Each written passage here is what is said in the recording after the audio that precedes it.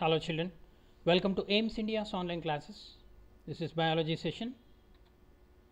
We are discussing reaching the age of adolescence. This is part 3. In the part 2, we have discussed about um, the changes in your, in your body that is uh, according to the age, height, chest, shoulder, how the voice changes, about Adam's apple. Okay, about Adam's apple also we have studied. What is Adam's apple? What is Adam's apple? At puberty, the voice box or the larynx begins to grow. Boys develop larger voice boxes. The growing voice box in boys can be seen as a protruding part of the throat. So, this is called a Adam's apple. Isn't it, children? So, we discussed about the voice change and Adam's apple in an adolescent boy. Okay. So, the laryngeal prominence is usually more prominent in adult men than in adult boys. We concluded by saying that this is the reason for disturbance in your voice in the stage of adolescence. At the end of adolescent stage, the voice will become perfect. Okay? You will get perfect voice by the end of a adolescent period. Okay, children, further uh, let us discuss uh, more about uh, the changes during adolescence period. The changes in the body, sweat and pimples. This is the common uh, uh, change we observed in adolescence. Naturally, in adolescence, boys and girls take care of their face and look frequently in mirror, isn't it? Different cosmetics will use. They also feel worried of their pimples and acne. Sometimes uh, these pimples lead to infection due to squeezing them. The secretions of sweat and sebaceous glands in adolescents are very active. Many adolescent boys and girls get pimples. These pimples on the face because of increased activity of uh, these glands. What are those glands? Uh, sweat glands and uh, sebaceous glands. In the structure of skin, you have studied, you might have studied in your lower class. Okay, the increased activity of sweat glands and sebaceous glands lead to these uh, acne and uh, pimples. Okay, during puberty, the secretion of sweat glands and sebaceous glands. What are sebaceous glands? Sebaceous glands are nothing but uh, oil glands. Okay? Their activity will increases. So many young people get um, acne and pimples on the face at this time because of the increased activity of these glands in the skin. Okay? The, a few glands such as sweat glands and oil glands and even salivary glands they release their secretions through ducts. And some other glands are also present in our body they are called endocrine glands. They are ductless glands. They also release um, uh, chemical substances called hormones directly into the bloodstream. So they are also termed as a ductless glands endocrine glands. Okay you can see these are the pimples uh, which uh, usually appear during this adolescence stage of life okay you have to take care you should not squeeze them. If uh, it is squeezed then they lead to secondary infections. The bacteria and fungi other microorganisms will grow and complicate the problem. Okay? You have to drink more water to overcome these problems. The changes in the body. Owing to the extra secretions sometimes uh, a distinctive a distinctive odor smell is also produced from their body. Okay? Don't squeeze the pimples. They make your face appear with black spots. So what should be done? So do not scratch the pimples. Wash your face regularly with a mild soap. Use lukewarm water to wash the pimples and acne. Never get worried about the pimples because stress and strain may help them to increase. They are natural. Okay? Don't think much about these pimples. What you have to do? You should not scratch these pimples and always wash your face regularly with a mild soap.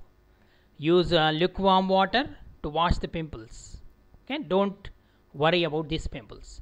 So the best soaps are given here so acne out nivea cream soft soap anti acne soap Pears okay with less chemicals okay the medimix is also the better soap. Okay you you can use uh, the soap which suit your skin. Okay? Next the changes in the body development of reproductive organs. Okay development of sex organs reproductive organs. Um, in the previous lesson we have studied about the reproductive organs organs in the human beings. At puberty the male sex organs like the testis and uh, the penis develop completely. The testis also begins to produce the sperms. In girls the ovaries enlarge and eggs uh, begin to mature and also ovaries start uh, releasing mature eggs. At the age of adolescence the male sex organs that is testis and penis develop completely. The testis also begins to produce the sperms. In girls the ovary enlarges and uh, the eggs begin to mature. The ovaries also start releasing mature eggs. In girls uh, the secondary sexual characters are seen. So in girls the breasts begin to develop whereas in boys uh, the facial hair mustaches and beards begin to grow. The hair starts growing on the chest of boys. In both the boys and girls um, hair grows in the armpits and at the genital organs reproductive organs okay so these are the hormones uh, the female sex hormone that is uh, estrogen. This is the hormone which influence the female secondary sexual characters. The secondary sexual characters in girls. They are growth of breasts pubic hair wide hips. These are the main characteristics which are influenced by this hormone estrogen and uh, the male sex hormone that is testosterone so it influences the body hair growth voice breaks muscle growth all these are influenced by the male sex hormone that is testosterone. Okay? So at this age um, mental intellectual and emotional maturity also attained. Okay? Adolescence is also the period of uh, change in the person's way of thinking. The adolescents are more independent than before and are also self conscious okay? These are the changes.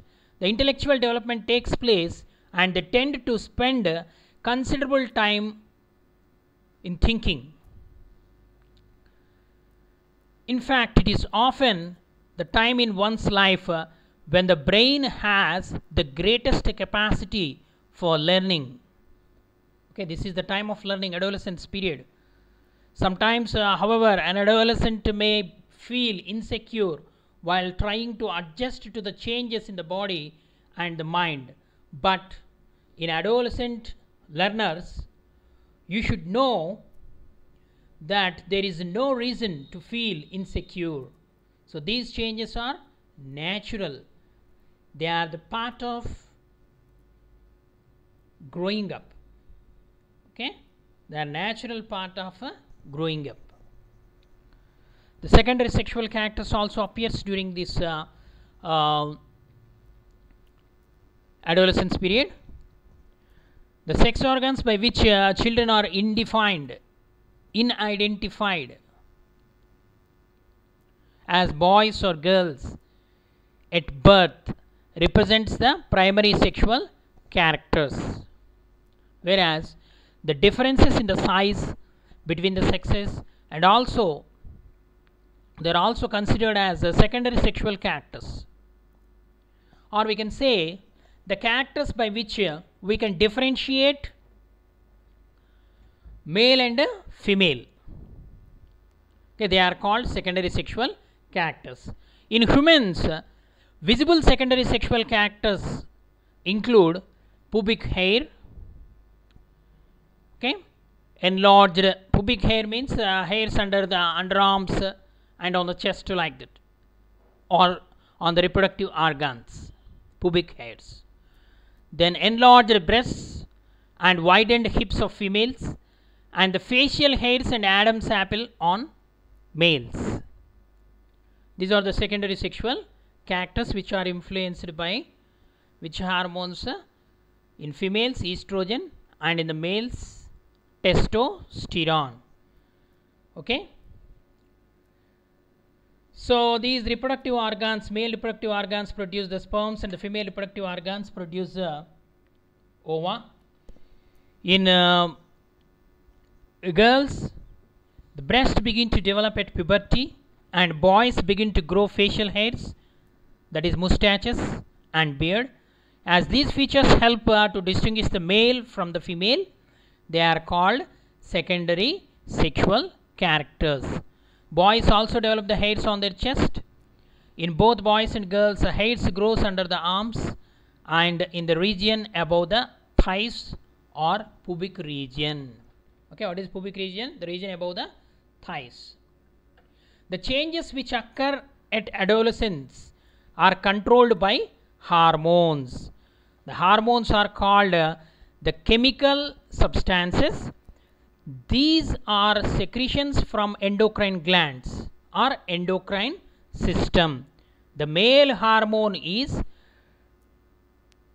testosterone begins to release by the testis at the onset of puberty. This causes changes in boys about which okay. What are the changes we have studied here no? The changes are caused due to this. What are body hair grows voice breaks muscle growths? These are all. And uh, once the puberty is reached in girls ovaries begin to produce estrogen or female hormone which makes uh, the development of breasts milk secreting glands or mammary glands develop inside the breast the production of uh, these hormones is under the control of uh, another hormones secreted by uh, endocrine gland that is called pituitary gland. Okay? The reproductive phase of life in humans.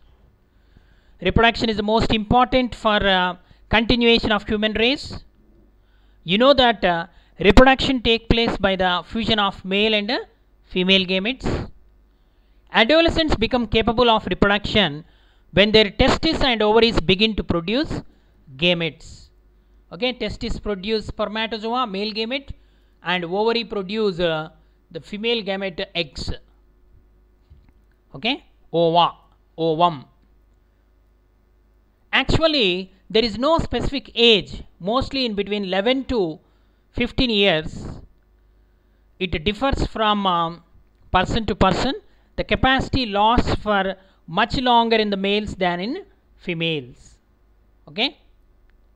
In the females uh, the production of egg may last long for 50 years. In males uh, the spermatozoa production lifelong it may continue. Okay? It differs from person to person the capacity lasts for much longer in the males compared to females. Though their bodies are prepared for the reproduction physically but the mental growth and maturity are still far away. Okay? Though they are uh, reproductive maturity may attain during the adolescence period but uh, only the physical development takes place. But mental growth and maturity are still far away.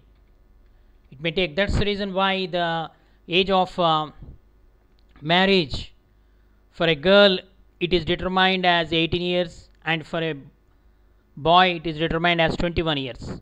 Okay means far away it is it takes uh, some more time for uh, attaining the mental maturity.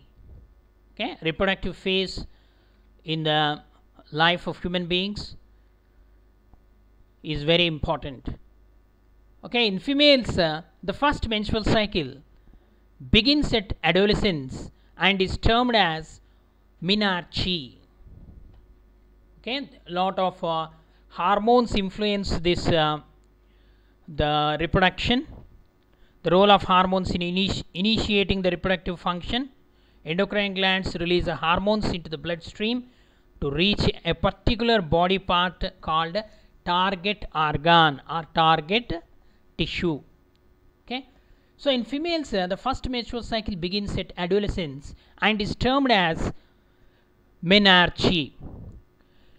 It is the sign of starting of release of ova in female reproductive life. Do the production of eggs uh, last long in females? A question what would happen if ovulation stops? What happens if ovum is not released? Okay these are the some of the questions we need to discuss.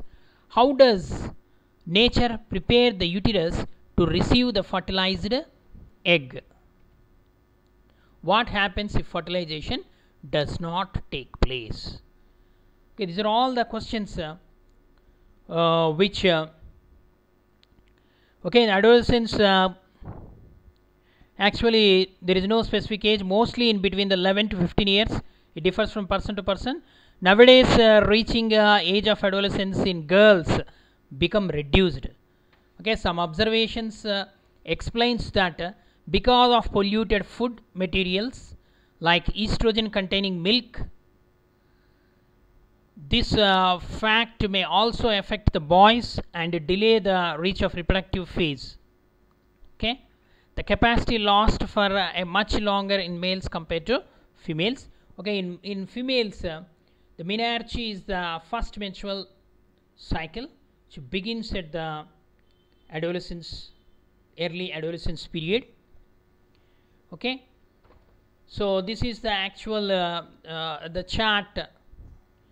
In males uh, the testis is the male reproductive organ ovary is the female reproductive organ the production of uh, sperm spermiogenesis occurs at the adolescence period and ovum is produced waiting for the fusion for uh, fertilization that is the in the fallopian tubes. If fertilization does not occur menstruation occur. Means if the fertilization fails the ovum will be destroyed. Okay? So here the question do the production of eggs uh, last long in females? No. Up to certain age only up to 50 to 55 years only the production of eggs uh, will occur. What would happen if the ovulation stops? If the ovulation stops uh, there is no fertilization there is no uh, the embryo development or childbirth. What happens if the ovum is not released? If the ovum is um, if the ovum is not released it means here the ovulation is stopped. The same. How does uh, nature prepares the uterus to receive the fertilized eggs? So actually uh, in the female reproductive system okay in the reproduction in animals we have discussed. So in the female reproductive system the long tubes called the fallopian tubes uh, they are uh, developed to release uh, or to receive the fertilized ovum and await for the spermatozoa for fertilization. What happens if the fertilization does not take place? If the fertilization does not occur then what happens the menstruation occur. Means the ovum and the tissue will be released out uh, along with some uh, blood. It will be released out through the female reproductive system. So that is called menstruation and again the cycle begins. In females the reproductive phase of life uh, begins usually around 10 to 12 years of age. And generally last till the age of approximately it's not exactly approximately 45 to 50 years. It may be more. The ova begins to mature with the onset of adolescence one ovum matures and is released by one of the ovaries once in about 28 to 30 days. Okay? So this is very important. In animals uh, there are many ova are released. But unlike the other animals in human beings uh, only one ovum matures at a time and is released by one of the ovaries. There are two ovaries are present. But only one ovary release one ovum alternates with another ovary. Okay? For uh, for example this month uh, one ovum is released from left ovary. Next uh, from right ovary ovum is released like that. Once in about 28 to 30 days. So during this period the wall of the uterus becomes thick so as to release or so as to receive a fertilized egg and uh, this results in the pregnancy. Okay if the fertilization occur that results in the pregnancy development of embryo. Okay zygote is formed that zygote develops into embryo. Okay so this is called mensum means month. Okay 28 days. So these are the changes takes place. So the fertility phase. This is the fertility phase 9 to 15 days. During these days if the spermatozoa are released by uh, received by the fertilized egg then the fertilization takes place. So if the fertilization fail then from 16th day onwards uh, the secretory phase another phase will start and uh, the cycle will continue. Okay by 28th day by 14th day egg will be released and by the 28th day if the fertilization fails menstruation takes place. Okay? If the fertilization does not occur the released egg and uh, the thickened lining of the uterus along with its uh, blood vessels are shed off. Means release out. This causes bleeding in women which is called menstruation and it is uh, nature's uh, wonderful phenomenon. The menstruation occurs once in about 28 to 30 days. In some cases initially the menstrual cycle may be irregular. It takes uh, some time to become regular. If it remains irregular for over a year then there is a need to consult a doctor. Okay the doctors who concerned with the reproductive study they are called gynecologists. Okay gynecologist is a, a doctor related to the study of reproductive system.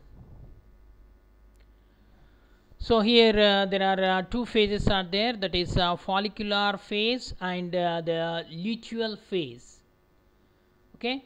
So many hormones are involved in this menstrual cycle. Menstruation the womb lining breaks here see breaks down.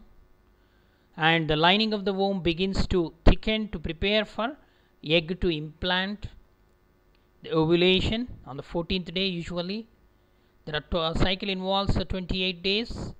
And if an egg has not been fertilized and the follicles fade away then the womb lining detaches along with some blood. That is called menstruation. Okay it is a cyclic process which involves follicular phase and luteal phase or proliferative phase and secretory phase. These are the two phases which are present in the menstrual cycle. Okay? So there is a role of hormone uh, is uh, very important in the reproductive function. The target site uh, responds to the hormones. There are many endocrine glands or ductless glands in the body. The testis and ovaries secrete uh, sex hormones. Um, we have just now studied that uh, estrogen and uh, the testosterone okay they develop the secondary sexual characters. The hormones from pituitary stimulate the testes and ovaries to release uh, testosterone in male and uh, estrogen in female. So they are released into the bloodstream and reach the parts of the body. That is the target site. Okay what is the target site? Testis in the male and uh, ovary in the female. They stimulate the changes in the body at the onset of puberty. Okay now so this uh, menstrual cycle occurs once in about uh, 28 to 30 days. The first menstrual flow begins at puberty and is termed as menarche. It continues up to 45 to 50 years in the female. And after that uh, the stoppage of menstrual cycle is termed as menopause menopause means menstrual cycle will stop. Initially the menstrual cycle may be irregular but uh, it takes some time to become regular okay it is a controlled process controlled uh, by hormones the cycle includes the maturation of the egg it releases then thickening of the uterine wall and its breakdown if pregnancy does not occur. In case of the egg is fertilized, it begins to divide and then gets embedded in the uterus for further development. Okay, that is called the pregnancy. Okay. Okay, children. Hope you understood. Please read the textbook. Thank you for watching our video. Please subscribe our channel and press the bell icon for receiving latest updates.